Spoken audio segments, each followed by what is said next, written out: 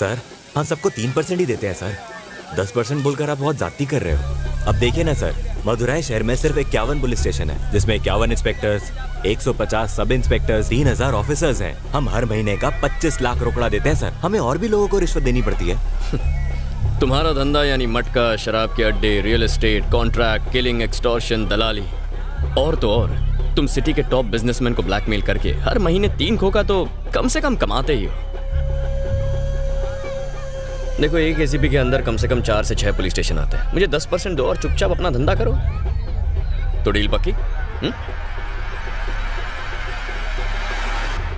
तुझे लगता है डील पक्की हो जाएगी? हाँ वो साला भवानी से बात करने के बाद ही मुँह खोलेगा। आ, एक बात बता। आ, आ, आ, तुझे लगता है मैंने बहुत चढ़ा लिया है? नहीं यार तूने सिर्फ़ ग्यारह पैगी तो लिए फ्री में इतनी तो पीनी चाहिए। ग्यारह पैग? बाइक नहीं चला पा रहा है? मैं चलाऊं क्या? बाइक मेरी प्रॉब्लम नहीं है वाइफ मेरी प्रॉब्लम है। जिसने मार मार के मेरा कलर काला कर डाला है। एवरी डे तूने कभी सास बहू की सीरियल देखी है क्या? हाँ देखी तो है। आ, याद कर उसमें कैसे बीवी आज सच धज के राशन पानी लेके अपने पतियों को टॉर्चर करती है?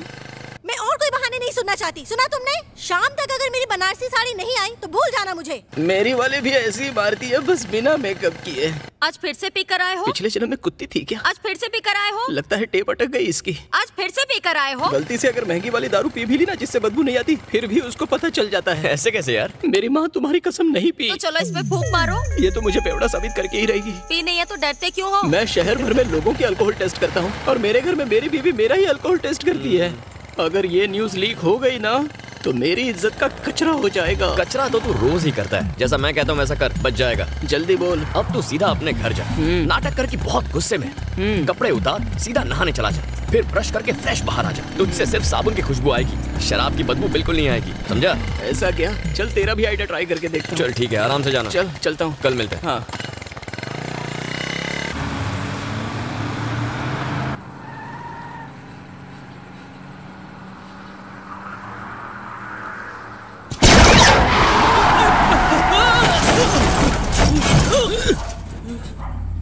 हे शेखर क्या किया तूने?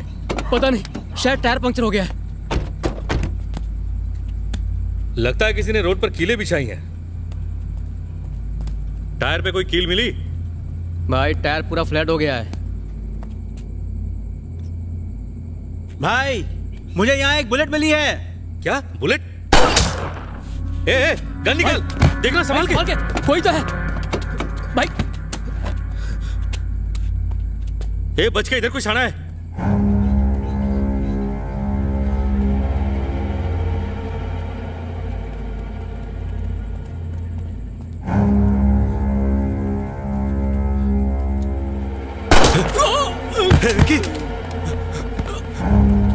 कौन है साले बारा ठोक डालूँगा। तू बबलू भाई को जानता नहीं है? ए, बबलू भाई के आगे कोई सारा नहीं बनता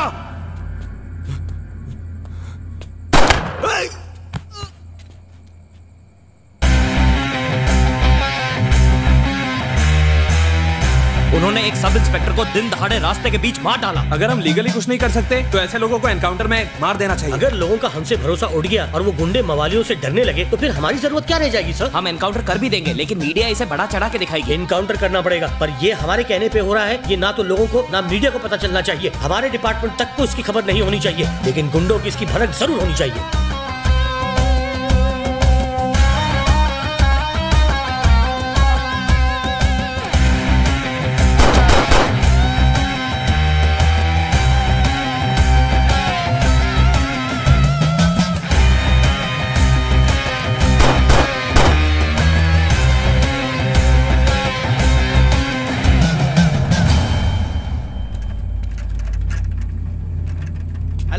स्टेशन आप जरा तेली गली में जल्दी आ जाइए। सर इसके बारे में कुछ बताइए। तीन लोगों पर गोलियाँ चलाई गई हैं। तहकीकात जारी है। सर किसने किया होगा ये? जल्दी ही पता चल जाएगा। कहाँ है तू? त्रिची में। अरे मेरा फ़ोन घूम गया रे। फिर से फ़ोन घुमा दिया? भैया आपको ना हज़ार बारह सौ रूपए वाला फ़ोन यूज़ करना चाहिए। आते वक्त लेकर फ़ोन है क्या? हाँ। एक मिनट रुक मधु बात करना चाहती है। क्या जय? त्रिची और मदुराई इतने पास होकर भी तुम हमसे मिलने नहीं आते। मैं वहाँ आया और किसी ने यहाँ बैंक लूट लिया तो मेरी नौकरी तो गई। तुम कभी सीरियस होते ही नहीं हो। ए सुन मुझे उससे बात करने देना। अच्छा जय माँ को तुमसे बात करनी है। हाँ देना। चलो मुँह खोलो। जयंत बेटा। माँ कैसी हो? तेरी भाभी ने तेरे लिए तीन लड़कियाँ देख रखी हैं। तीन से शादी नहीं करूँगा दो ठीक है। आप बात चला दो। ऐसा कौन से कानून में लिखा है कि पुलिस वाला एक साथ दो लड़कियों के साथ शादी कर सकता है? भाभी मुझे लगा माँ है। अच्छा कोई बात नहीं। तुम्हारी भतीजी का स्कूल में आज पहला दिन है। तुम उससे बात कर लो। लो। चाचा आज मेरी स्कूल का पहला दिन है। ऐसा क्या मेरी गुड़िया? स्कूल जाना और खूब मस्ती करना। फ्रेंड्स बनाना। किसी ने कुछ बोला ना तो कहना चाचा पुलिस में है उल्टा लटका देंगे। ओके चाचा बाय चल फ़ोन रखती हूँ। हेलो माँ हाँ, पापा कहाँ है? तुम्हारे पापा वो आप लोग हमेशा मुझे ही क्यों चुनते हैं? मिलने आप में से कोई सरपंच क्यों नहीं बन जाता? नहीं नहीं मोहन बाबू इस गाँव के लिए आपसे काबिल सरपंच कोई हो ही नहीं सकता। क्या हुआ? जय का फ़ोन? हाँ जी। जय बेटा घर कब आ रहे हो? दस बारह दिन लग जाएँगे पापा। ठीक है लेकिन गाँव के मेले के दौरान तुम यहीं रहो तो अच्छा होगा। ठीक है जल्दी आ जाऊँगा। क्या हुआ दोस्त? मेरा सॉलिड आइडिया काम कर गया ना? कर तो गया लेकिन कहानी में ट्विस्ट आ गया। क्या बात कर रहे हैं? मैंने जो कहा था वही किया ना?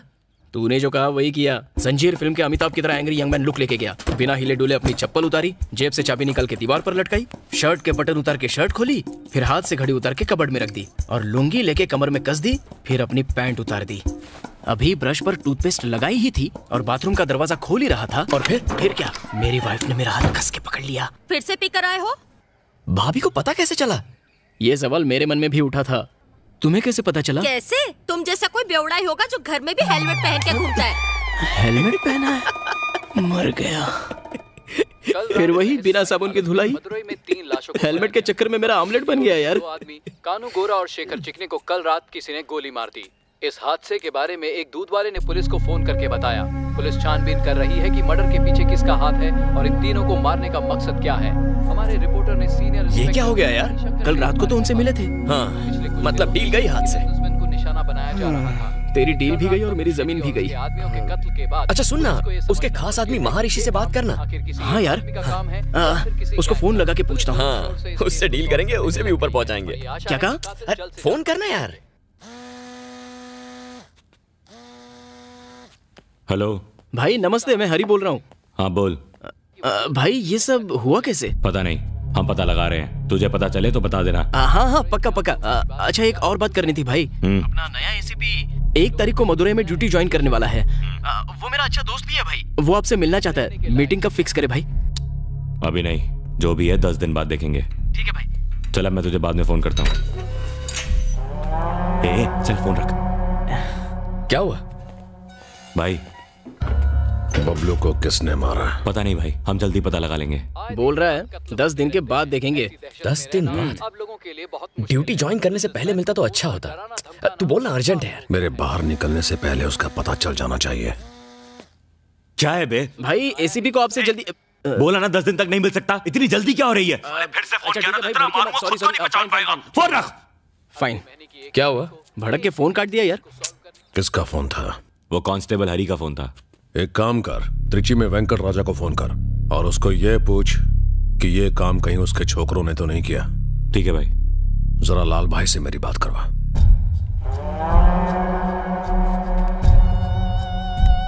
हेलो। लाल भाई। भवानी बोल रहा हूँ। जज से बात हो गई है भवानी तो दस दिन में छूट जाएगा टेंशन मत ले। थैंक्स लाल भाई। सर मिनिस्टर साहब बुला रहे बोलो आ रहा हूँ। मिनिस्टर अंदर बुला रहा है तेरे को बाद में फ़ोन करता हूँ। आने वाले असेंबली इलेक्शन में टीएमके पार्टी ने वीरा स्वामी को त्रिची से लाल मेरे खिलाफ टीएम के पार्टी ने एक सोशल वर्कर खड़ा कर दिया अरे अब इसका टेंशन क्यों ले रहे हैं सर ज़िंदगी आप इस कॉन्स्टिट्यूएंसी से दो बार लगातार जीत चुके हैं। आपके रुतबे और ताकत के आगे ये टुच्चे नेता हवा हो जाएँगे। टीएम की पार्टी जो पैसा बहाएगी उसके आगे हम फीके पड़ जाएँगे। इस बार लगता है वो हर हालत में मुझे हरा कर ही दम लेंगे। मैंने रामा स्वामी की फैमिली को नाराज़ करके बहुत बड़ी गलती कर दी लाल। सर इलेक्शन में कौन किसको मार आप बुरा ना माने तो मैं एक बार सेल्वम को मनाने की कोशिश करूँ? आइए हम लेते हैं सेल्वम मान जाएगा लाल। बात करके देखता हूँ ना सर। हाँ लाल बोल। आ, मिनिस्टर साहब बात करना चाहते हैं। लेकिन काम क्या वो जो भी है वो मिलकर बात करेंगे। अचानक आज कैसे? देखो पुरानी बातों को भूल जाने में ही सबकी भलाई है। वैसे गुड न्यूज़ है तुम्हारे लिए। तुम्हारा फ़ायदा ही फ़ायदा है। ज़्यादा सोचो मत। आ जाओ। लाल एक मिनट रुक। ए कनाडा का पार्सल गया ना? हाँ कल ही गया साहब। हाँ लाल एक ज़रूरी काम है उसको निपटा कर रात को बार में मिलते हैं। ठीक है सलमान ओके बाय हम्म। यहाँ रख दो। सर चकना। ठीक है। नमस्ते मामा। आओ सेल्वम बैठो। आ, सब कुछ ठीक ठाक चल रहा ना? हाँ सब ठीक है। इस बैग में पाँच लाख है हमारी पार्टी ज्वाइन कर लो और आने वाले इलेक्शन में तुम हमारी कैंपेनिंग करो ठीक है? जीतते ही तुम्हें हाउसिंग डिपार्टमेंट का चेयरमैन बना दिया जाएगा। ये मेरा वादा है। ठीक है? ठीक है मामा पर मुझे ये पैसे नहीं चाहिए। आप चेयरमैन बना तो यही काफ़ी है। आने वाले बुधवार को दादाजी की बरसी है मैं उसी दिन पार्टी ज्वाइन कर लूँगा। बहुत अच्छी बात है। अच्छा मामा। तुम्हारी चेयरमैन की सीट पक्की। अच्छा है। मिलते हैं। ठीक है सर हाँ लाल मिलते हैं। लेकिन सर वादा तो नागराज को भी आप कर चुके हैं चेयरमैन बनाने का। तो फिर इसको कैसे? लाल पॉलिटिक्स में चालें सिचुएशन देख के बदलती हैं। हम पलट भी तो सकते हैं। हेलो बोलिए भैया। तुझे बताया था ना चिन्ना मामा को मिलने जा रहा हूँ? हाँ। पार्टी ज्वाइन करने के लिए कह रहा था और आने वाले इलेक्शन में कैंपेन करने के लिए भी। कह रहा था कि मुझे चेयरमैन बना देगा। आपने ये बात पापा को बताई? हाँ बताई ना। उन्होंने कहा कि तुझसे भी राय ले लूँ। भैया मुझे ऐसा करना ठीक नहीं लग रहा है। ऐसा क्यों? मैंने उसे जबान दे दी है कि दादाजी की बरसी पर मैं उसकी पार्टी ज्वाइन कर लूँगा। ठीक है भैया। अगर आपको ठीक लगता है तो कर लीजिए। ठीक है।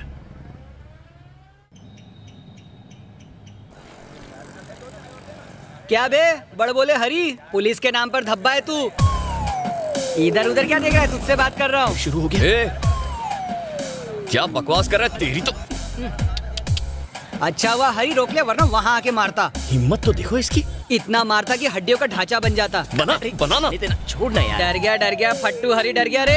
अबे कब से तुझे बुरा भला कहते जा रहा है? अरे बच्चा है बोलेगा ना। फट्टू हरी। अरे तो रुकना रुकना मत जा। चल चल निकल यहाँ से। वो क्या है ना मेरा और उसका पुराना लोचा है।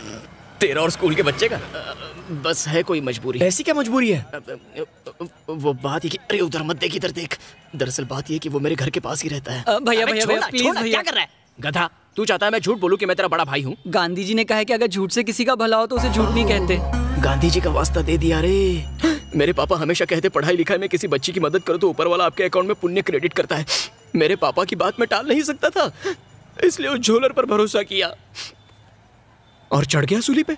मैंने तुम्हें अपने मम्मी या पापा को लाने को कहा था ना? सर मैं अपने बड़े भाई को लाया हूँ। बड़ा भाई। मैं क्या एलियन लगता हूँ? नमस्ते सर। हाँ।